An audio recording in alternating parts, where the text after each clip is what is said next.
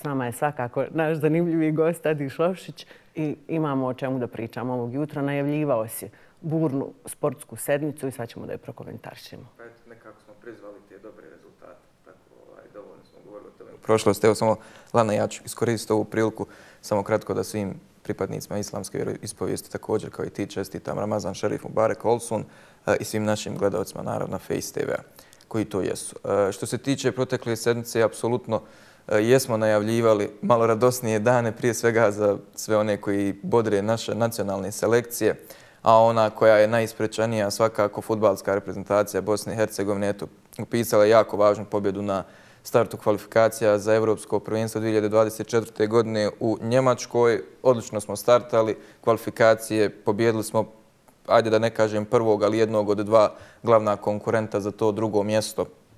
Naravno, rano je govoriti o pozicijama, zašto ne ciljati na prvo mjesto na tabeli, ali sada da ne budu neke preambiciozne prognoze nakon jedne pobjede, e, sasvim je realno da je Portugal najjači u našoj grupi i da ta prva pozicija, nećemo reći da je rezervisana za njega, ali sve su prilike da će njemu i pripasti, a za drugo mjesto se bore, slobodno mogu reći, sve ostale reprezentacije na čelu sa Bosnom i Hercegovinom, Slovačkom i Islandom.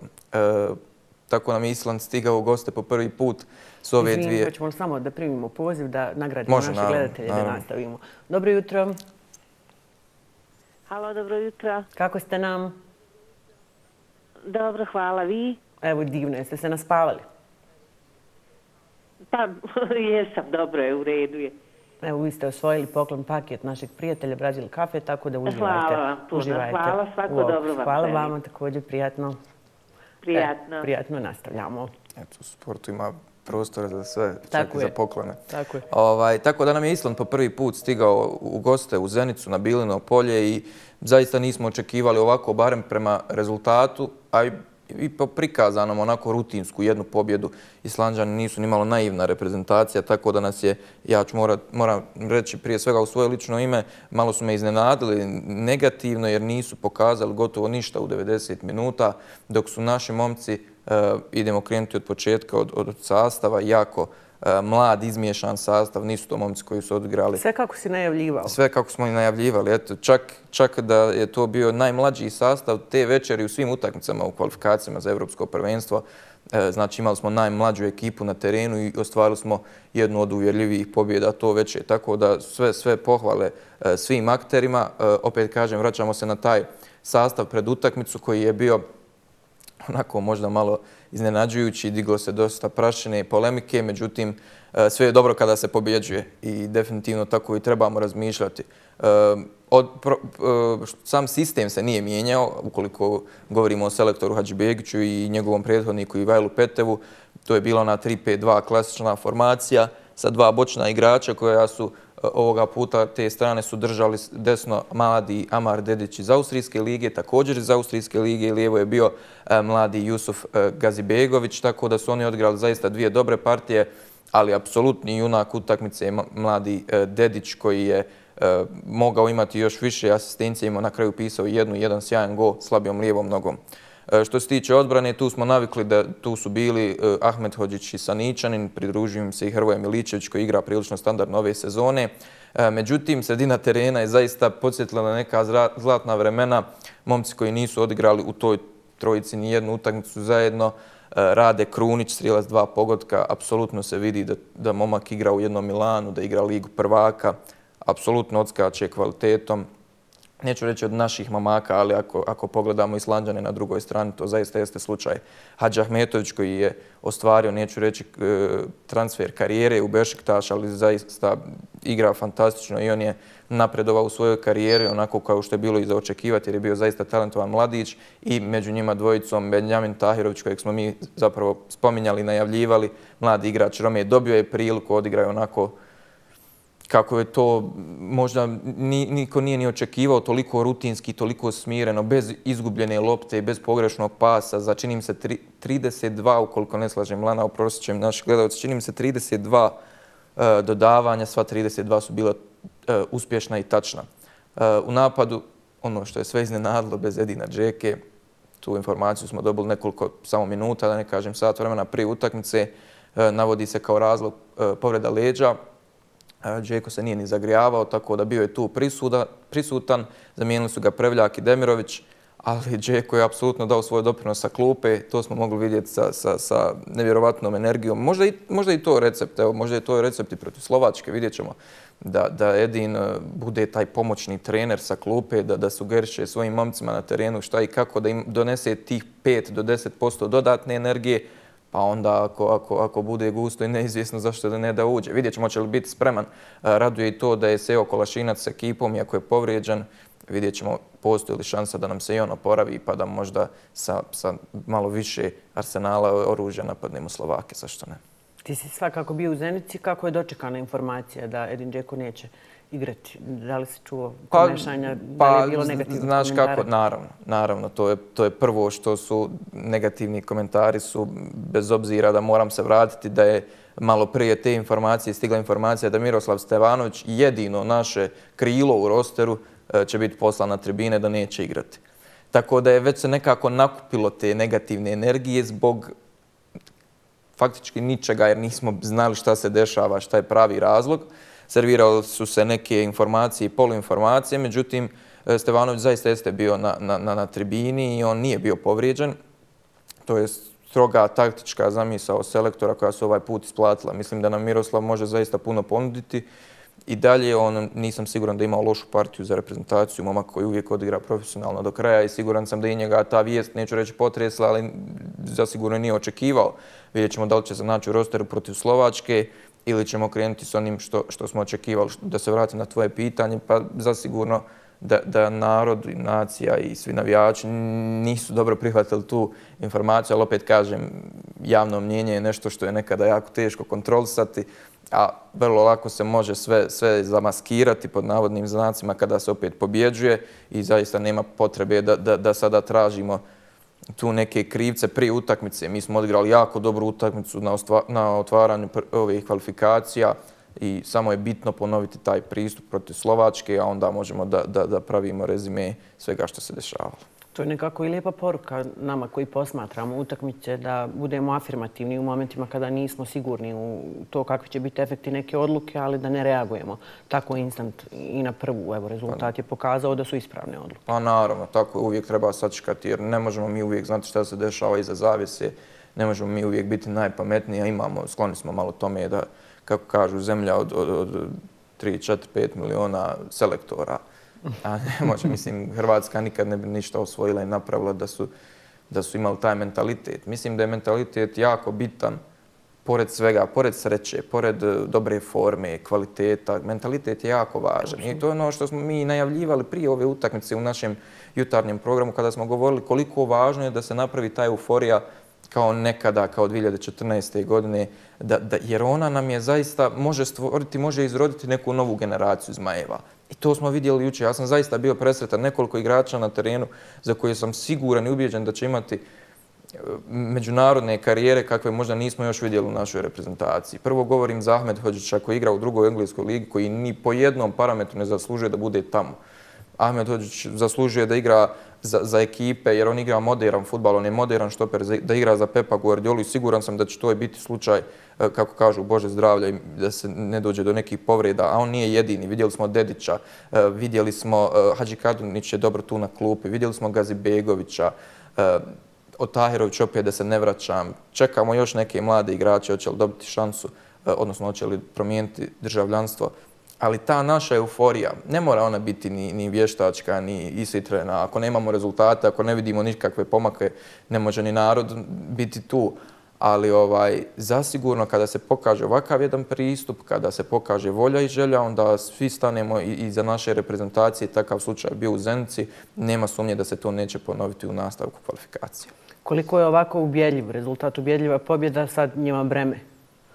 Pa ne mislim da jeste zato što ako se postavimo u glavu tih momaka, oni su sigurno svjesni da još uvijek nisu ništa napravili. To je samo početak i ne mislim da je breme baš iz tog razloga što možda ako odigramo dobru utakmicu u Slovačkoj i dođemo do bodova ili do sva tri boda, vrlo lako možemo da eliminišemo jednog suparnika iz, iz te konkurencije, jer je Slovačka e, kiksala u prvom kolu remizirali su tako da imaju jedan bod. Ukoliko bi mi nanijeli poraz, opet vraćamo se onim našim kalkulacijama, nećemo o tome. Ali vrlo lako možemo da eliminišemo jednog protivnika iz te borbe za, za mjesto koje vodi na Evropsko prvenstvo u Njemačku 2024. godine. Tako da ne mislim da će to njima biti neki pritisak. Vjerujem da i oni jedva čekaju da opet zajedno izađu na teren, da pokažu da, da to nije bila sreća, da to nije bila loša noć Islanđana, već to su naše zasluge.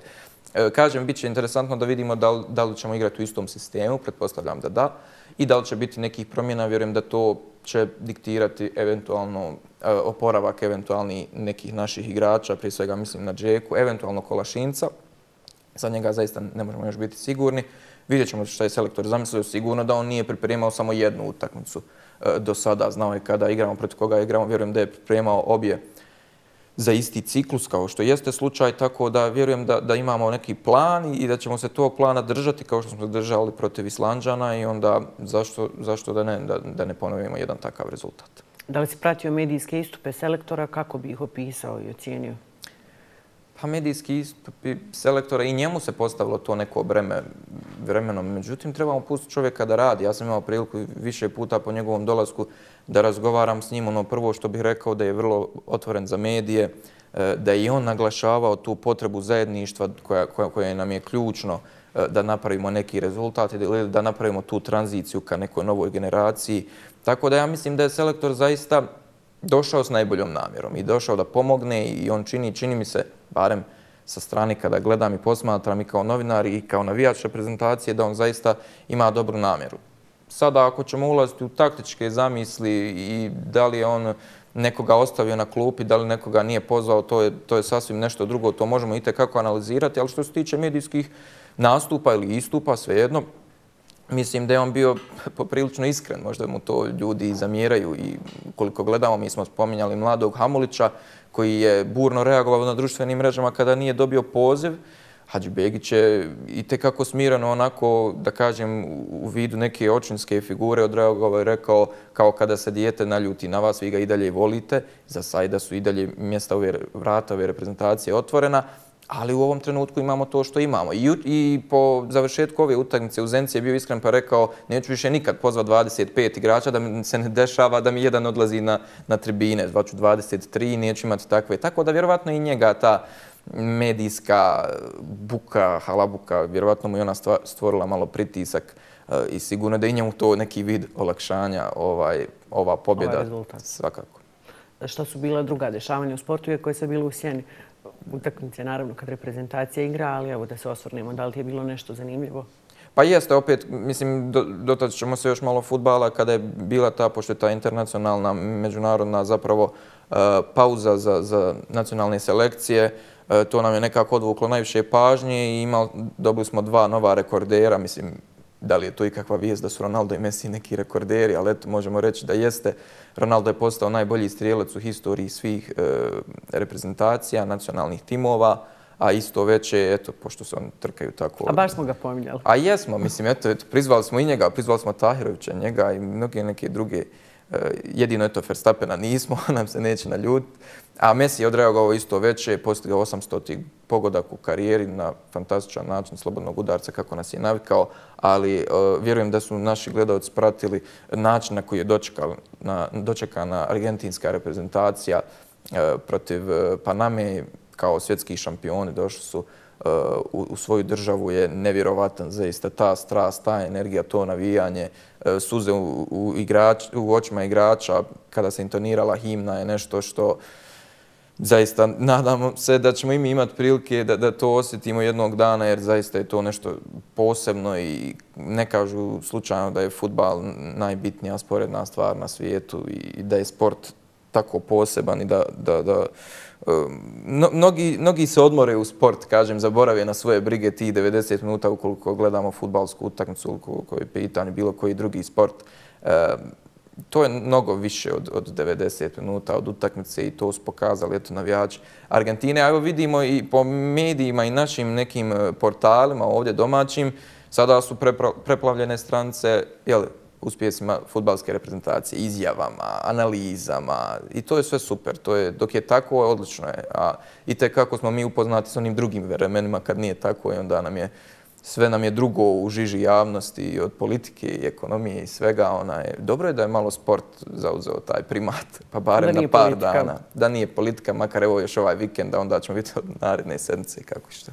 Zanimljivo mi je ovo što si malo prije rekao, da je igračima vjerovatno dodatna motivacija bila to da Edin Džeko posmatra i da im daje tu energiju i negdje zaista imati takvog čovjeka i takav uzor kao nekoga ko te prati i koga želiš da impresioniraš može biti nešto što je, što je pogonsko gorivo dodatno. Pa mislim da ne treba više, apsolutno. Jer mi ako gledamo i Faruka Hadžbegića, čovjek sa internacionalnom karijerom, ime, apsolutno ime, Vjerujem da je to dovoljno našim igračima da im takva figura stoji kraj out linije i dijeli savjete i čini mi se da su ga jako dobro prihvatili u tom smislu, da su prihvatili taj njegov autoritet.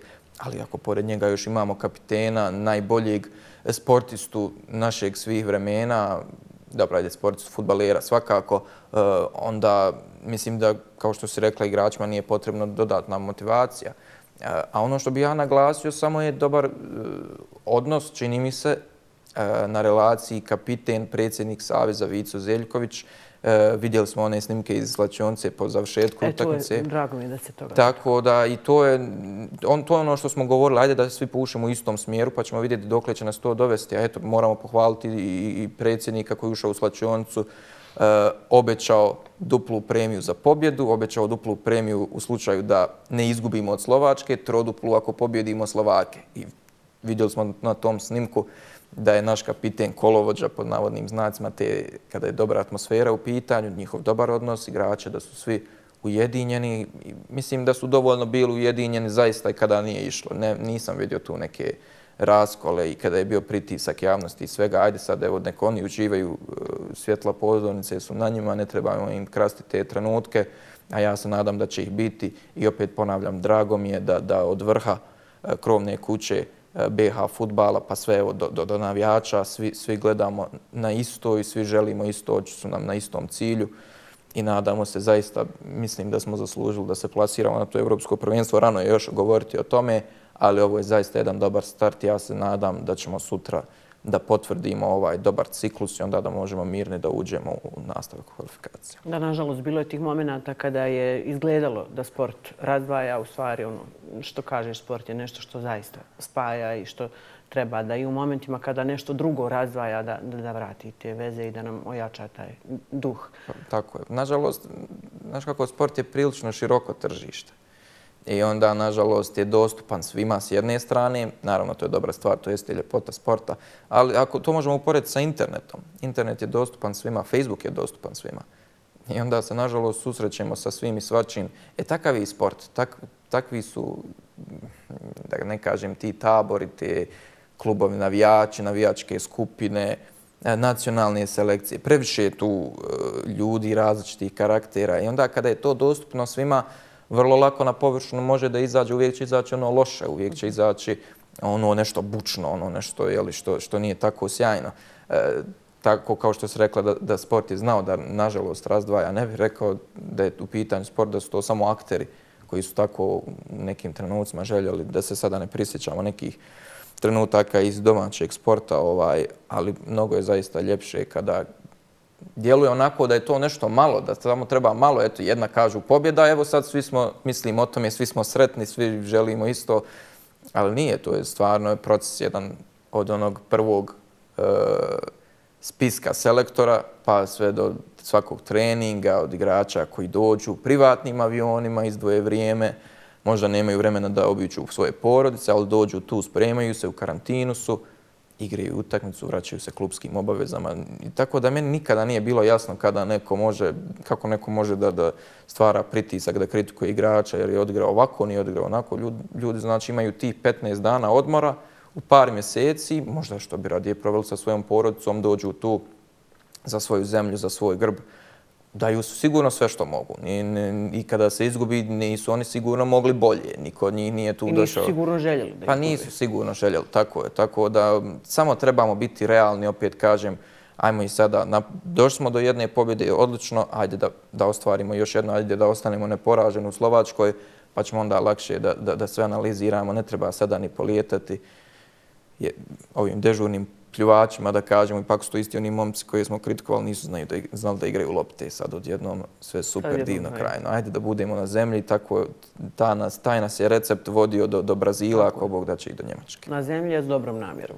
Pa naravno. Svaka. Hvala ti puno. Sutra se opet družimo pa možemo najaviti šta nas čeka u narednoj sedmici. Još tema ćemo se dati. Hvala te,